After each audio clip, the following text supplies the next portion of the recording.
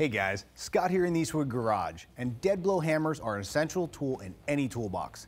They reduce vibration through their handles while maximizing power at impact.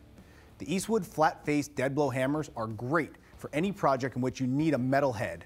The icing on the cake is that these are proudly made in the USA for quality and longevity. If you've never used a dead blow hammer before, you're in for a real treat. A shot-filled canister is encased in each head as the hammer strikes the surface, the shot-filled canister inside absorbs the shock and reduces any kickback you'd find in a traditional hammer.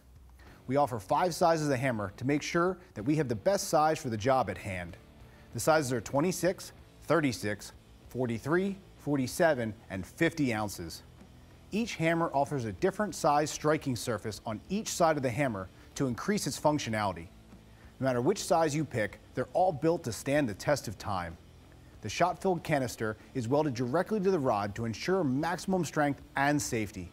From here, each outer shell is built with polyurethane coating, which is incredibly strong to prevent mushrooming, chipping, and splitting. On the handle, you'll find a textured grip that stops slips and reduces fatigue. Since every shop needs a dead blow hammer, make sure to check out the Eastwood flat-faced dead blow hammers, which are made right here in the USA. For more information, you can click or tap the button in the corner or follow the link that appears on screen.